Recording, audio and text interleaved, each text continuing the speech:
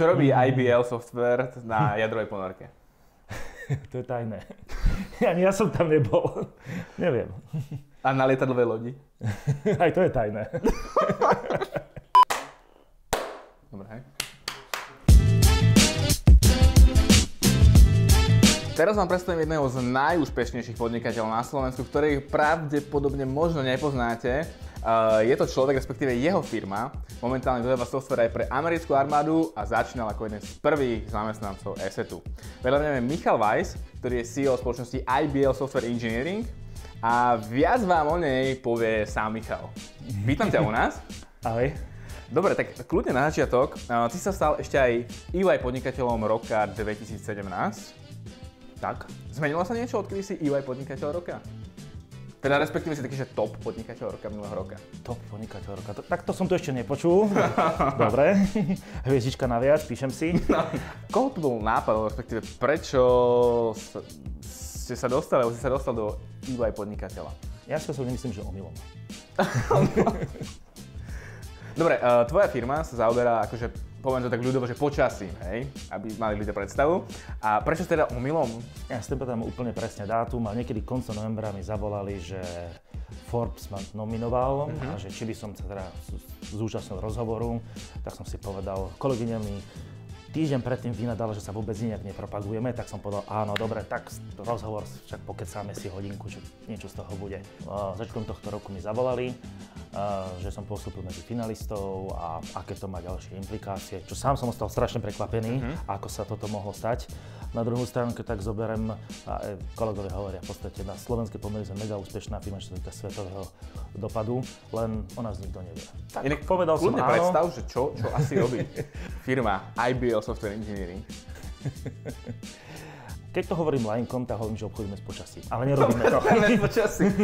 Čiže vďaka vám. Pro, prosíte si 3 kg dažďa. My sme ITčkári, softwarová firma, ktorá robí uh, software meteorologov.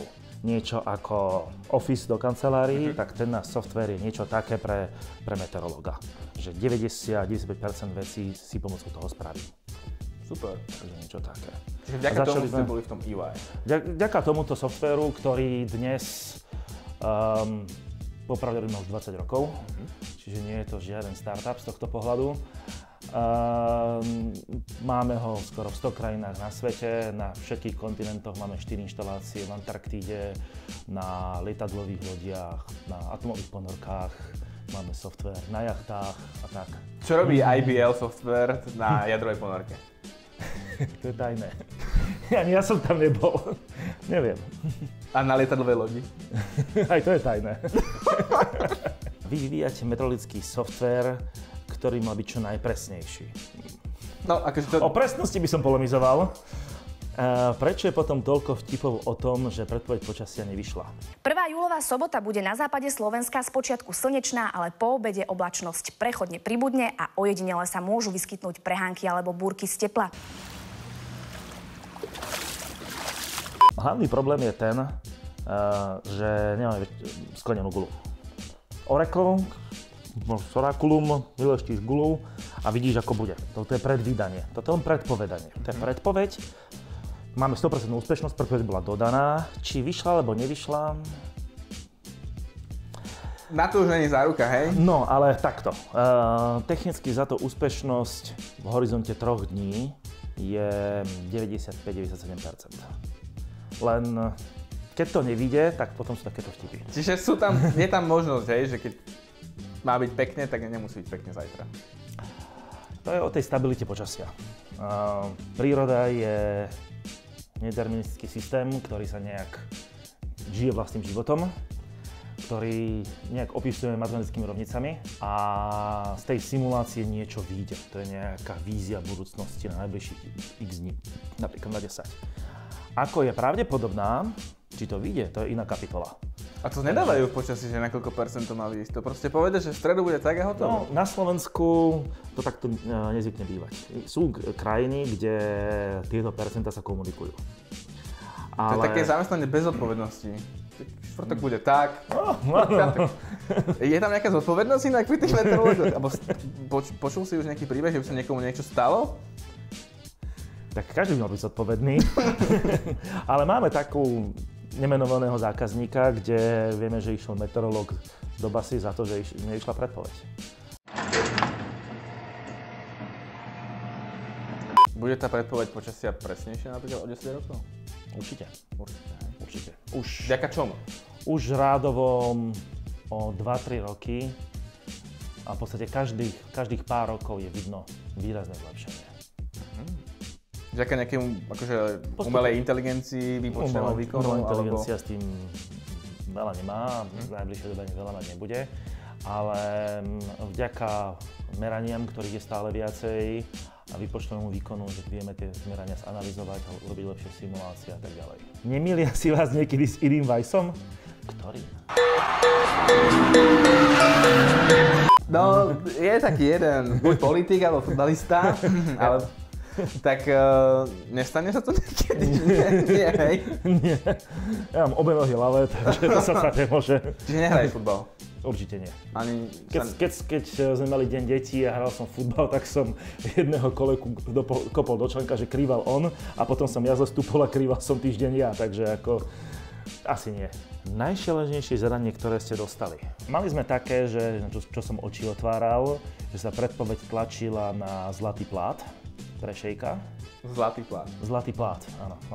Montovali takú veľkú tlačiareň, čo tlačilo zlatom Aha. ozajstným zlatom. To akože, no. ja som, keď bola to veľká krabica, akože to miestnosť. Mali sme pre americké letectvo, doš, došli za nami s tým, že chcú vesmírne počasie. Vesmírne. Vesmírne počasie, to pozerám, že vesmírne počasie, aké tam počasie pre Boha, nie atmosféra.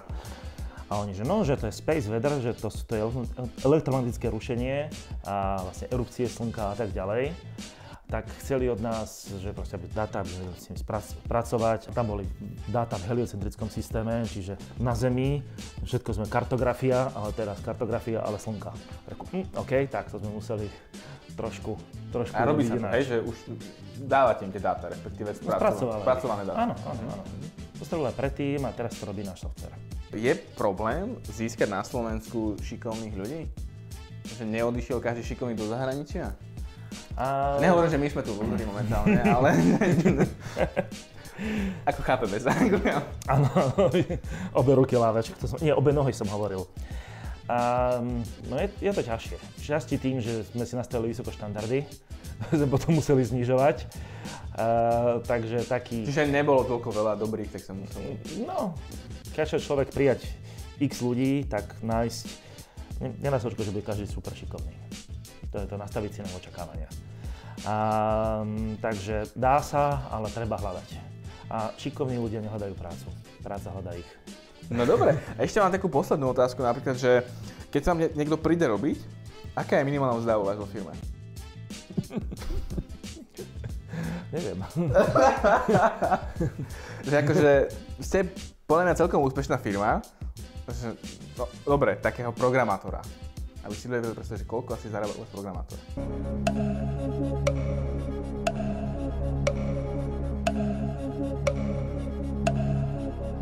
A to je ťažká otázka inak.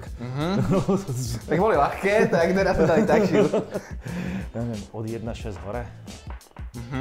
A plus prémie a tak ďalej, takže, ale koľko to bude, neviem povedať. Priemerný programátor, to bude tak 2,5. 2,5. To je super dobré. A ide to samozrejme výrazne vyššie.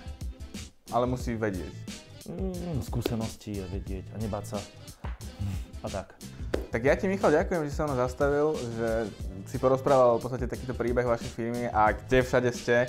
A je to akože veľký úspech, že slovenská firma je takto globálne na každom kontinente a v jadrových ponorkách neviem kde všade, všetko je tajné a tak ďalej.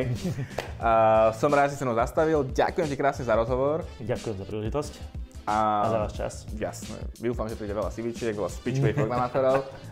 No a my sa vidíme na budúce. Čaute.